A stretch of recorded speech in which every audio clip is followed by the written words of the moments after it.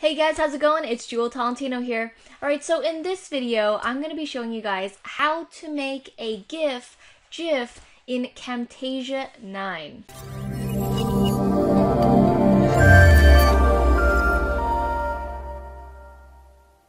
Alright, so I don't know the actual pronunciation, if it's GIF or GIF, whatever. I'm going to show you guys how to do this in Camtasia 9. Alright, so I'm here on the dashboard and I've got something set up already as a test. So usually these things are really short. They're like a couple seconds long and they just loop and repeat and repeat.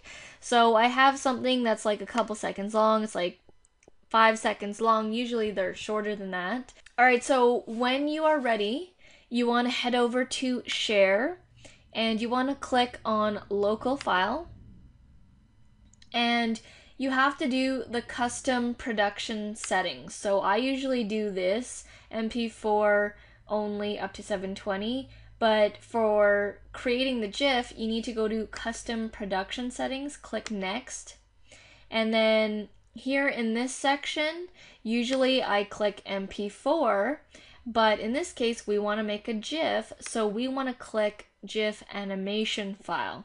Then you want to click next, I usually leave this as automatic, leave everything as is, click next. I leave everything as is. If you want to change the size, you can, like the video size. This is going to be 1280 by 720, so it's going to be like the full size, but you can make them smaller if you want. And then click next. And then this, I don't touch anything here. Click next.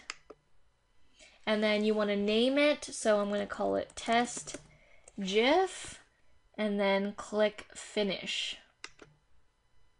So I already created one, you know, as a test before this. So it's asking me if I want to override this. You're not going to see this message because you didn't duplicate anything. I did. So I'm going to click yes.